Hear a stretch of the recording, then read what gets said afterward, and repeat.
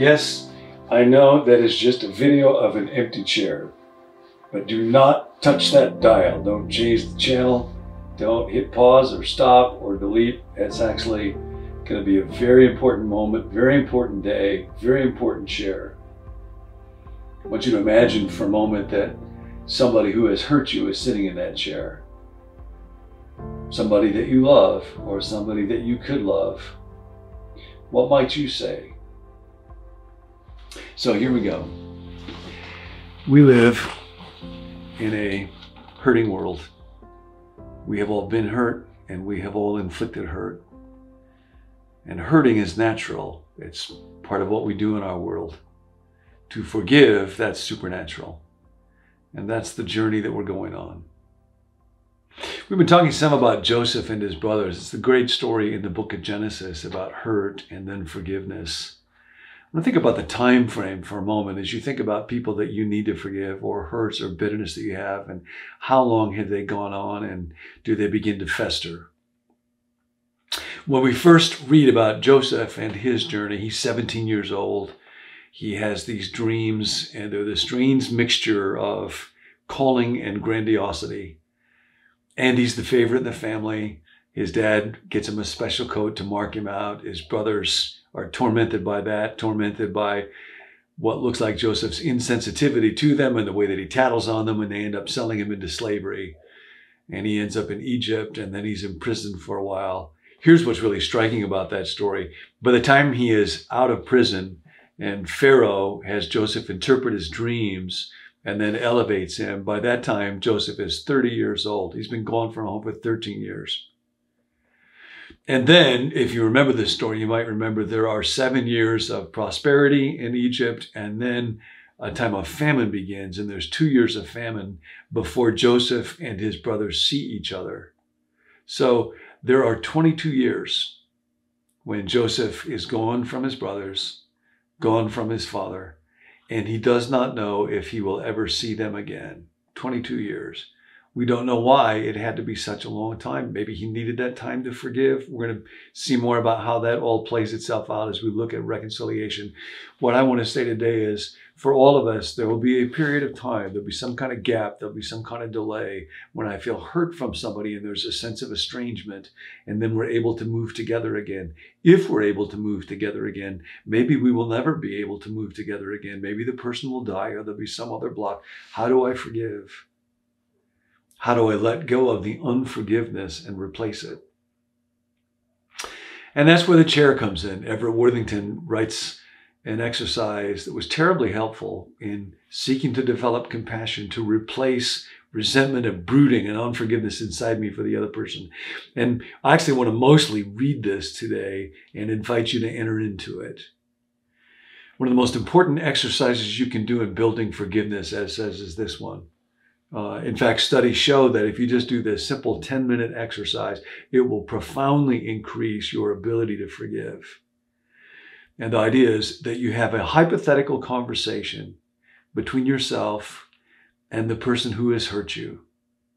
So I want you to begin to imagine now what you might say to that person. And then you have to put yourself in that person's place and sincerely, honestly, objectively empathically try to think through what might they say to you. Here's an example Ev gives. Me, you really hurt my feelings when you lost your temper, started insulting me. You didn't even seem sorry. Wrongdoer. I didn't realize it still bothered you. That makes me feel bad. Me, I wish you'd shown a little more remorse. I felt hurt for days. I still get upset when I think about it. Wrongdoer. I'm so sorry for causing you pain. I was thinking about my own frustrations. It was more about me being upset with myself than about you. Me, then why didn't you say it? Wrongdoer, I don't have any excuse. I should have said something. Even though I didn't say anything at the time, I still think that you're my friend, and I hope that you will forgive me. So that's just an example to give you an idea of it. And then the practice is that you do this you can begin to think about it now, but I would encourage you to take a little time on your own and actually write down a conversation like that, a dialogue between you and the person that hurt you. You might be able to go to them and do this um, live face to face. That would be the best also. But you start right now to be able to do that work in my own heart, to begin to try to understand, not to excuse, not to justify, uh, but simply to try to understand this other person and write down what would I say to them? And then if I don't just caricature them as they're this all evil, terrible villain, pawn scum, they should die, but that they're a real person who probably didn't wake up on that day and think, you know, how could I just really, really inflict massive amounts of pain wickedly on me? What do I think they might say? And then write out those thoughts. And then this is quite important actually physically sit in a chair and have an empty chair there. And then say your words to that person, and then physically get up and sit in that other chair and speak back to you in the voice and the mind of that other person. And I will tell you on this long journey of forgiveness for me that has been um, several months now, uh, uh, I've done this several times, and at least once it's the emotionally most impactful thing. Lots of tears for me just to try to hear that voice again and uh, listen to that heart. Uh, Ev says research shows that if you do this seriously, it can be the single most effective thing that you can do to forgive the wrongdoer emotionally. So take the time to do that. You can begin to think about it right now. And then just actually physically put that person in that chair and give voice to what it is that they might say so that you can listen to it and experience it and absorb it at a whole deeper level. And then after I'm after I've done that, I can think through some questions like what might have been going on in this person's mind and heart that I didn't think about before until I went through this exercise. And I promise you, there were learnings for me.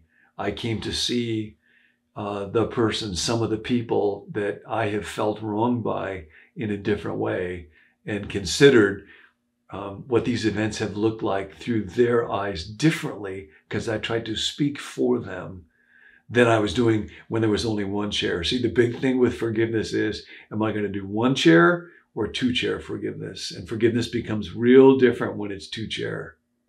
Because then I invite that other person as a human being to come into my heart again. Now, again, this doesn't mean that there um, will or even should be reconciliation. We'll talk about this more. This is forgiveness. And then I want to um, uh, tell you about one other tool in the process of forgiveness that's been very, very helpful to me. We talked before about decisional forgiveness. That's where I decide uh, I am choosing to forgive. I will treat this person as a valuable and worthwhile human being. I will no longer allow myself to indulge rumination. I won't gossip. I won't try to pay them back. I will earnestly seek with God's help to replace negative feelings of um, bitterness and resentment and hostility and hatred with positive emotions like empathy or sympathy or compassion. And actually, that, that's a it's a decision that I can make. And part of what I've learned is how often previously I would have hurt with somebody and never clearly decide to forgive them, and then be on that journey to forgive them emotionally as well. So then the idea is in order to help make this concrete, get it out of vague, actually write out a certificate of emotional forgiveness. And I've got a copy of one right here.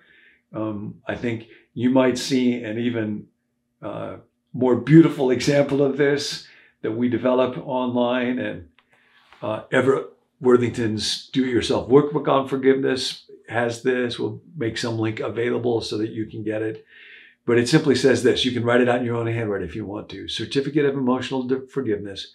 I declare to myself that as of the date, and then you fill in the date, I have decided to forgive, and then I fill in the name of that person, for, and then I fill in the actions that I am forgiving. And then underneath that, to date, I have forgiven blank percentage. And then I fill in the percent, 60%, whatever it is. To date, I have forgiven blank percentage of the emotional forgiveness. And then it's signed, and I sign my name in my relationship with that person. And I will tell you that being able to say, on this date, I forgave. On this date, I forgave. On this date, I forgave with key people and key hurts in my life, knowing there's still a journey to go on with forgiveness. And in many, many ways, this is a journey I'll be on forever. And every day I get to practice forgiving. I practiced it today. And again, it's not that I'm going to go around and say, here, I'm giving you this certificate to show you that I have forgiven you. Maybe the other person doesn't think that they need my forgiveness at all. And I may discover, you know, a lot of what was going on here was me being overly blaming or overly sensitive. All that work is uh, out in front of me. Um, but to say, I put a stake in the ground, I have forgiven. So that's the invitation today. Go from one chair forgiving to two chair forgiving and put a stake in the ground. Make the date. God, forgive us our debts as we forgive.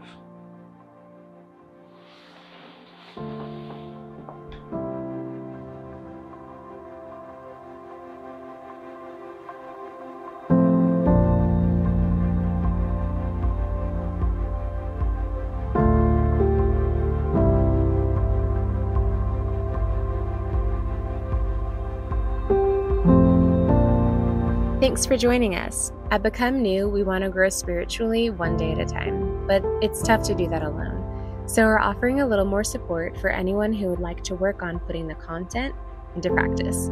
You can sign up to receive a text at the end of each week in this series asking if you completed the Here's How portion for that week.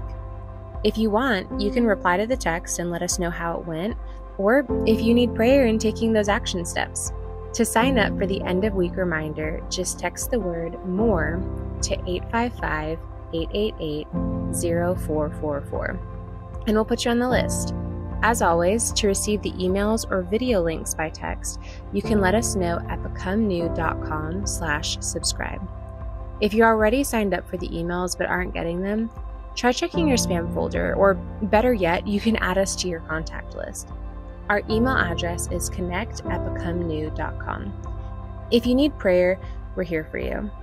Text your specific prayer request to 855 888 0444. There's a team of us who meet each weekday to pray specifically over every person who sends a text in.